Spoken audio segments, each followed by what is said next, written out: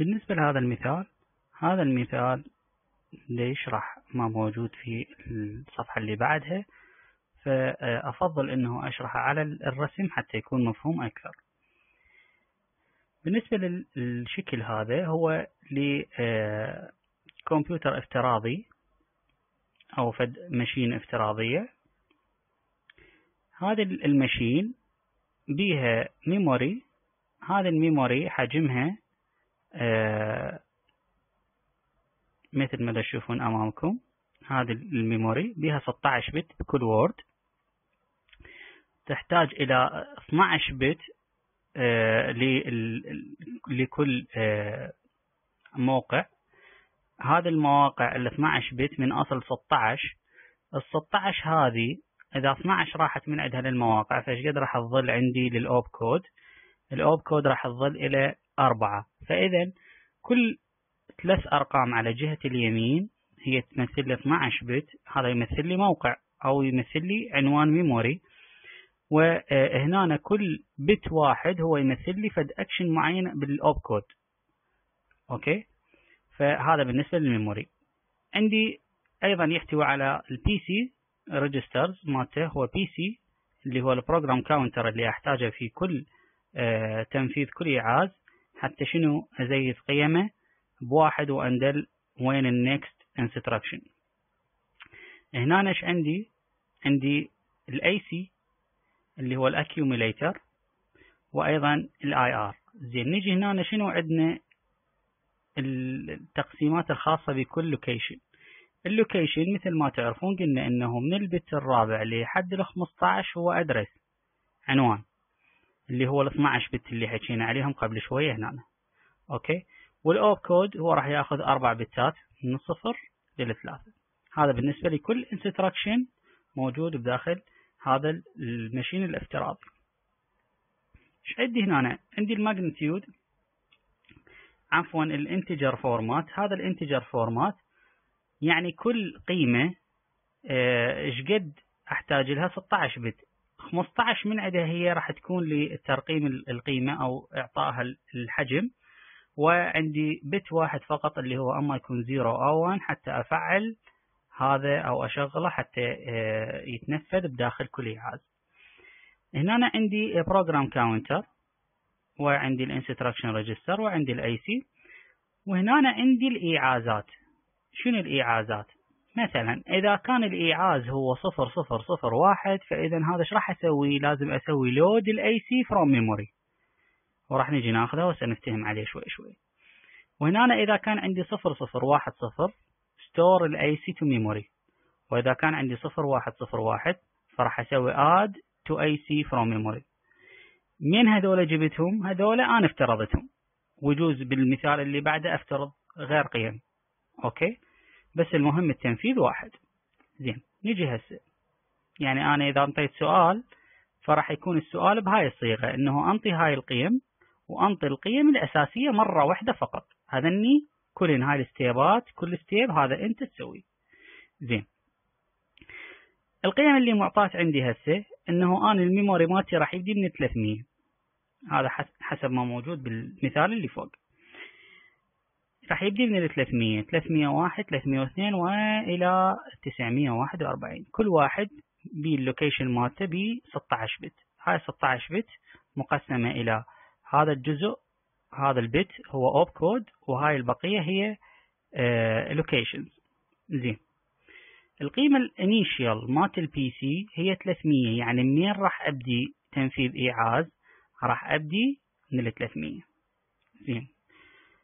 أول ايعاز راح يتنفذ هسه هذا باعتباره هو step 1 أول ايعاز هسه راح أبدي أنفذه. أنا عندي هاي القيم موجودة. هاي ثابتة. يعني جايبها من صيغة السؤال. نفترضها. وعندي هاي ثابتة. هذه ما موجودة هاي القيم فارغة. بس هسه راح نبدي ناخذها خطوة خطوة. فنجي هسه. من دا يقول عندي الإيعاز 300 لازم أسوي له fetch و decode و execute. زين. هسه أجي أسوي لهذا fetch و decode و execute جبته وين؟ بال IR بال instruction register. ال instruction register راح يحلله وراح يشوف القيم مالته حتى تتنفذ. فمن يجي يحلل راح ياخذ هذا الجزء هذول الثلاث قيم إيش ياخذهم؟ ك location ك address وهذا راح ياخذه opcode. فإذا هسه ال opcode مالتي هو واحد. ال opcode مالتي هو واحد. يعني شنو؟ يعني هنا أنا هذه القيم إذا واحد اجتك يعني شو تسوي؟ يعني سوي load ال AC from memory okay؟ فإذا هسه راح أجي جبت الايعاز سويت له fetch وسويت له decode هسه راح أجي على مرحلة ال execute هنا أنا بمرحله ال execute القيم هاي مالت ال memory ثابتة ما عندنا مشكلة بها نجي هسه بعد بعد التنفيذ بعد ما أنه سويت عملية fetch هذا تلقائيا راح يزيد نفسه بواحد فبالتالي بال next step إيش راح يصير عندي؟ 301 زين. هنا أنا من سويت لها fetch و decode قال؟ قال إنه قيمة ال 940 ال location أو ال address اللي عنوانه هو 940 شو أسوي له؟ أسوي له هذا. شو أسوي له؟ الواحد يقول load ال AC from memory عنوان ال memory اللي موجود هذا 940 سوي قيمة سوي load للقيمة مالته. وين تخليها؟ تخليها بال AC فإذا قيمة ال AC راح تكون قيمة ال 940 فإذا قيمة ال 940 هي 3 وبالتالي راح يكون قيمة ال AC 3 زين هسه ال next ل 301 إيش دا يقول؟ دا يقول 5 لل 941 5 لل 941 قيمة الخمسة شنو؟ add to AC from memory. يعني هنا قيمة ال 941 هذه 941 ال location أو ال address مالت 941 سوي لها add وهي قيمة ال AC يعني هنا عندي هسه 941 إيش قيمتها؟ اثنين. من راح أجي أسوي لها هسه add هنا نشوف إنه هاي سويت لها load هاي بال يعني بالخطوة الثانية سويت لها load من راح أجي أسوي execute إيش راح يصير عندي؟ راح يصير عندي هنا طبعا هذا يزيد بواحد. وهنا إيش راح يصير؟ قيمة ال 940 تضاف إلى قيمة ال AC وبالتالي راح يكون عندي الثلاثة القيمة اللي موجودة سابقا بال AC زائدا القيمة الجديدة الموجودة 941 تنطيني قيمة 5